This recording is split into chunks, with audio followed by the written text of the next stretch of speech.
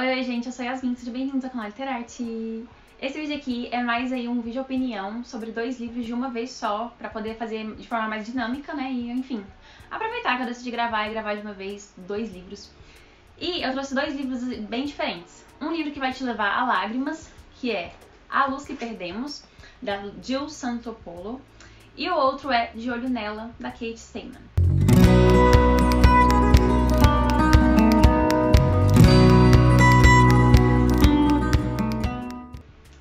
Começar então esse vídeo, deixe seu like, se inscreve no canal, me acompanhe pelo Instagram, ative as notificações aqui para vocês não perderem os próximos vídeos.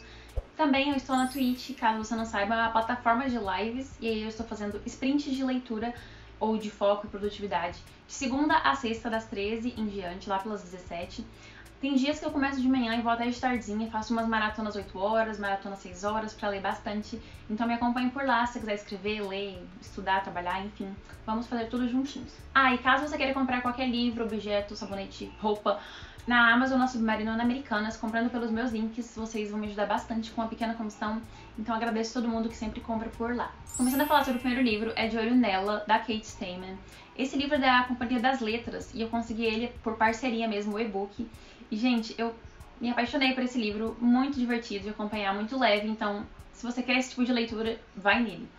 Essa história vai, vamos conhecer a Bia Schumacher, que é uma mulher já mais velha, tem 30 anos, se não me engano, e ela é uma blogueira de moda plus size. Então já começa aí com essa representatividade plus size que quase não vemos nos livros, e ela é a protagonista da história, então isso é maravilhoso.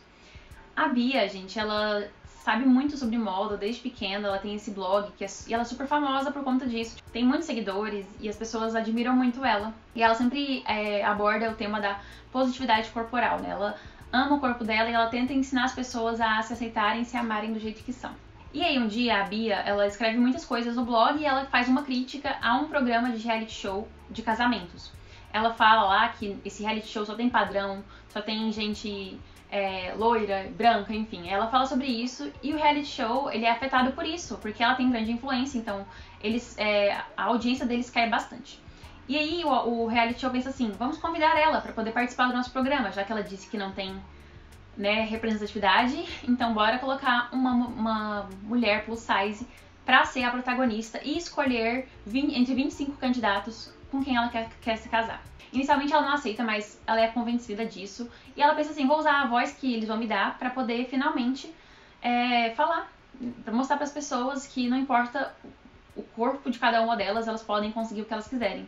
E, enfim, é super divertido acompanhar isso, porque o livro ele escreve, ele transcreve, na verdade, o reality show. Tipo assim, é, dia tal, é, na, no estúdio tal, tal horário, com chuva, ele transcreve tudo. Então tem transcrição de podcast, transcrição de blog, de site, transcrição de revista. Eles pegam tudo e transcrevem, então fica muito real, sabe? Então parece que você está ali assistindo o reality show, parece que você está lendo aquele site. É, é muito legal, eu amei esse estilo de narrativa. Foi a primeira vez que eu li algo assim, então eu achei bem mais dinâmico e interessante. Então isso foi algo que eu amei mesmo, todas essas transcrições. Sem falar também a, a, diversão e o surto que é participar de um reality show, né? Você acompanhar um reality show de casamento. E a gente vai vendo o lado vulnerável da Bia, apesar dela explicar. É, explicar não, ela deixa claro que ela tem essa positividade corporal, que ela se aceita e se ama. É difícil quando as pessoas sempre tentam colocar ela para baixo o tempo todo e tentam dizer para ela que ela nunca vai conseguir nada na vida por ela ser gorda, entendeu? É, é um absurdo. E também é emocionante acompanhar toda semana quem que ela vai eliminar, né? Porque é, ela elimina um cara por semana. Então isso é, isso é muito empolgante acompanhar os caras, né? A evolução deles, a evolução da Bia ao longo do livro. No início você pensa assim, nossa, que mulher inspiradora, assim, ela realmente se aceita e se ama. Só que por trás daquilo, dela tentando mostrar isso pro mundo, tem, né, o lado dela sensível que tá cansada de ser atacada pelo corpo dela. Tem várias reviravoltinhas, tem algumas coisas bem interessantes e várias reflexões também a respeito de tudo que tá acontecendo ali. É um livro, assim, super divertido, super leve, a escrita dela foi muito boa, inclusive quero ler mais livros da Kate. E eu acho, assim, que esse livro deveria ser adaptado para o cinema, seria maravilhoso ver isso. Leiam esse livro, vale super a pena. Todas as cidades deveriam ler, inclusive, porque essa reflexão sobre o quanto a gente se importa com a opinião dos outros, a gente tenta se encaixar em tal grupo, a gente tenta se encaixar em tal padrão, sabe? Só para poder agradar os outros. Então eu gostei disso, porque você começa a pensar assim: não, eu não preciso me encaixar em nada, entendeu? Eu tenho que ser eu mesma e me aceitar e me amar e foda-se os outros, tá? Eu sou importante, eu sou a, a protagonista da minha vida, então, sabe, é, é muito legal essa reflexão toda. Recomendo. Agora o outro livro é para chorar, então é um livro bem emocionante, só que você vai chorar mais pro final, assim, nos últimos capítulos. Mas enfim, a gente vai conhecer esse casal, né, de A Luz que Perdemos, que é a Lucy e o Gabe. Eles se conheceram ali no dia das Torres Gêmeas, que elas caíram, em 2001. E eles se conheceram e eles ficaram naquele dia super sensíveis, né, os dois, com tudo que tava rolando, super tristes. Eles se deixaram levar ali pelo sentimento, pela emoção e eles ficaram juntos porque a conexão deles é incrível. E eles acabaram ficando juntos por vários, por vários anos, não lembro. Por algum tempo, eles ficam juntos. Chegam a morar juntos também, aquele amor maravilhoso. Até que um dia o Gabe decide ir para fora do país e tentar novos ares, porque ele disse que, por ele ser fotógrafo, ele quer mesmo investir nisso, ele quer fotografar coisas emocionantes e coisas importantes, tipo guerra, fome, enfim, desigualdade social, essas coisas. E a Lúcia, ela apoia ele, obviamente, só que ela também não, ela não quer ir com ele. ele. Ele chama ela pra ir com ele, mas ela não quer, porque ela ama o emprego dela. Ela meio que produz programas de animação, de televisão. E ela ama o emprego dela, ela quer ficar ali, tá feliz, e ele ama o emprego dele, e ele parte, deixa ela para trás. E a gente vai acompanhar então a, a narrativa da história, a Lucy contando é, sobre a vida deles pro próprio Gabe. Aí ela fica assim: Gabe, você lembra tal coisa?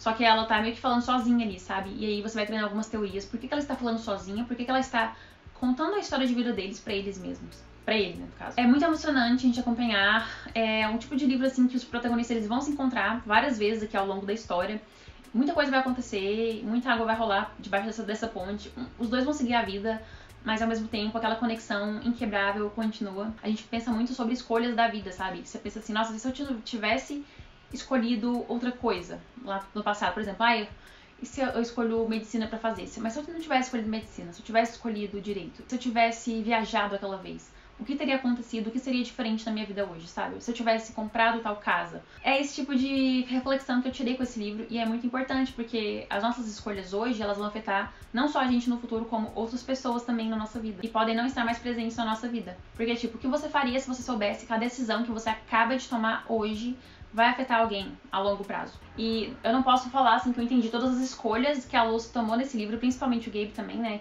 Umas escolhas assim que não tem como a gente julgar, não é a nossa vida pra gente falar assim, nossa, a escolha que ela tomou foi errada. Não, a escolha que ela tomou foi o que ela achava que era certo na época que o coração e o instinto dela disse para ela seguir aquela escolha e pronto, acabou. Então acho que por isso que eu gostei do livro, por isso que eu recomendo para vocês, porque tem essas reflexões lições, mensagens sobre a vida mesmo, sobre destino, sobre escolhas, tudo que eu já falei para vocês. Eu acho que vai depender muito da sua vibe no momento que você for ler, do que você espera do livro, claro, a sua expectativa. E do momento da sua vida em que você se encontra, para você ver se você identifica ou não, se você vai gostar da história ou não. Acho que vai. Tudo depende, na verdade. Não só sobre esse livro, mas sobre todos os livros, né? No geral. Depende das nossas experiências e expectativas. É, eu gostei, recomendo. É um livro triste, é pra chorar muito emocionante. E é isso. Espero que vocês tenham gostado desses dois livros de hoje. Enfim, deixe nos comentários se já leu, se tem vontade de ler, o que, é que vocês acharam, tá? Então é isso. Beijão e até a próxima.